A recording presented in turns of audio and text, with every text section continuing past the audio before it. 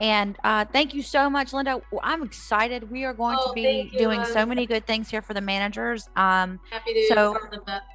I'm really happy to be a part of your CAM Matrix. When I saw CAM Matrix, I was just Googling one day and somebody mentioned it. What is that? And I looked, I said, how interesting. It's almost like a, a private social media network for community associations. Love it. yeah, except it's just for the managers.